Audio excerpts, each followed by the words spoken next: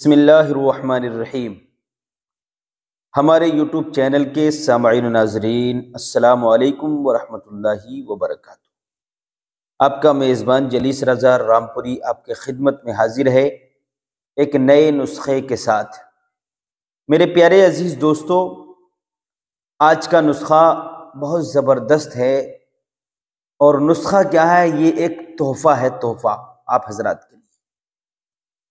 देखिए आज मैं आपको बताने वाला हूँ प्याज के पकोड़े के फ़ायदे।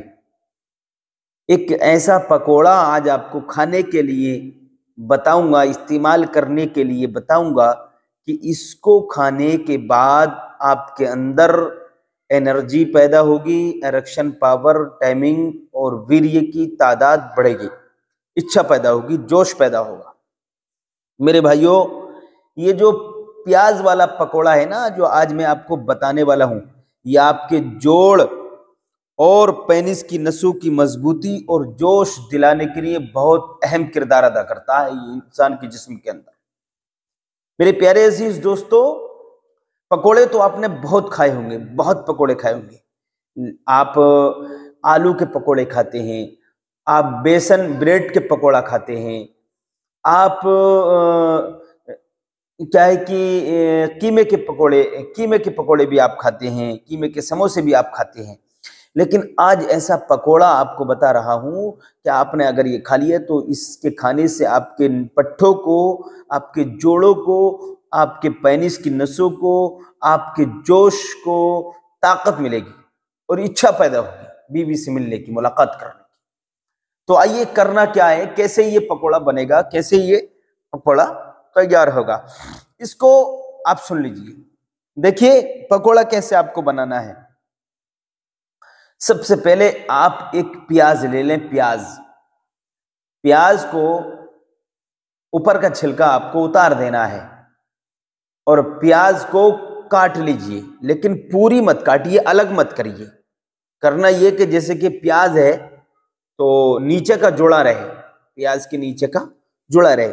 उसका ऊपर से ये उतार करके उसकी खोपड़ी थोड़ा सा छील करके उसका छिलका उतार दें और उसको नीचे से पकड़ लें। पकड़ के उसको बीच बीच में से काट दें। यहाँ काट दे, ऐसे काट दे, ऐसे काट दे, फिर ऐसे काट दे, ऐसे काट दे, यानी बीच बीच में उसको काट दें। पूरा अलग अलग नहीं करना है। बस ऐसे ही काट दें, उसको ऐसी रहे वो। ऐसी उसके अंदर चाकू गोद दें, ऐसी काट दें उसको। कभी ऐसे काटें, कभी ऐसे काटें कभी ऐसे काटे, कभी ऐसे काटे, कभी ऐसे काटे, कभी ऐसे काटे, कभी ऐसे काटे। काट के बस रख दीजिए। और बिल्कुल अलग नहीं करना है, वो पूरा रहे। अब देसी अंडा आपको लेना है। देसी अंडा। देसी अंडा फोड़कर उसको पूरा उस अंडे में डुबो देना है, प्याज को। पूरा डुबो दीजिए। जब वो प्याज, वो अंडे का सारा मलबा जो अंदर उसके सफ़ेदी या जर्दी जितनी भी ये कच्चा अंडा है, पूरा उसके अंदर जज्ब हो जाए, वो पूरा समा जाए पूरे का पूरा प्याज के अंदर समा जाए। तो एक चीज़ इसके अंदर आपको और डालनी है, उस चीज़ का नाम क्या है, उस चीज़ का नाम है कौन फ्लोर कौन फ्लोर डालनी है। कौन फ्लोर आप इसके अंदर डालें और इतना डालें कि ये पूरी प्याज, पूरा जो अंडा उसके अंदर समा गया है जो जगह जगह काटा था आपने, ये पूरा भर जाए, सफ़ेद हो जाए।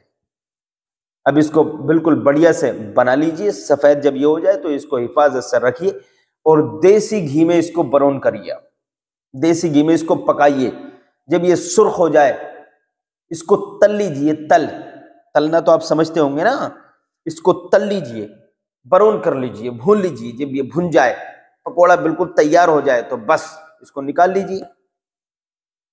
अब इसको खाना है। खाना कब है? रात को खाइए।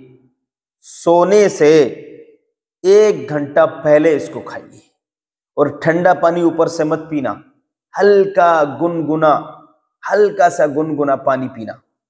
इसके ऊपर से। ये खाइए। इसके खाने से इन ताला आपके जिस्म के अंदर एनर्जी पैदा होगी, ताकत पैदा होगी और जोश आपके अंदर पैदा होगा। पकौड़ा बहुत अच्छा है। आप इसको खाइए, ना चीज़ को दुआ में याद रखिए। असलकम